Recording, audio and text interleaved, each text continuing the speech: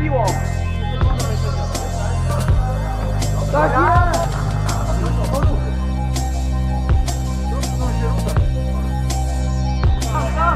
Nie sygnalizuj, po prostu nie tak po podaj.